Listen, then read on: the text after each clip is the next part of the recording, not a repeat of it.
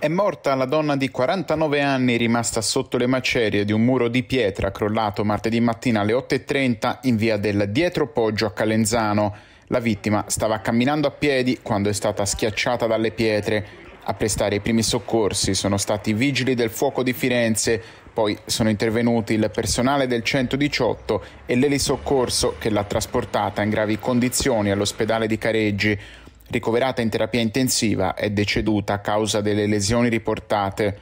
La lunga parete in pietra delimita una proprietà privata che non era in buone condizioni già da tempo e potrebbe essere ceduta a causa delle abbondanti piogge degli ultimi giorni. Più volte i residenti si erano detti preoccupati per quelle pericolose inclinazioni. Questa strada è pericolosa per, la, per, i muri che erano molto pendenti verso la strada.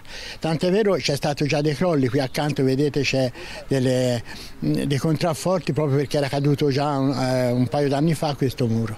E niente, quindi tutti erano preoccupati ma nessuno se ne è reso conto regolarmente praticamente, però la pendenza del muro non, non, succede in un giorno o due ma ci vuole anni, quindi si poteva benissimo prevedere questo pericolo e quindi porre rimedio.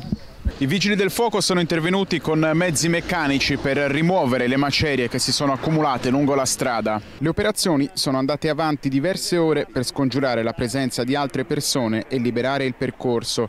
Il muro crollato è di proprietà privata, in passato era di una facoltosa famiglia che risiede fuori dal comune, mentre adesso è di un privato straniero.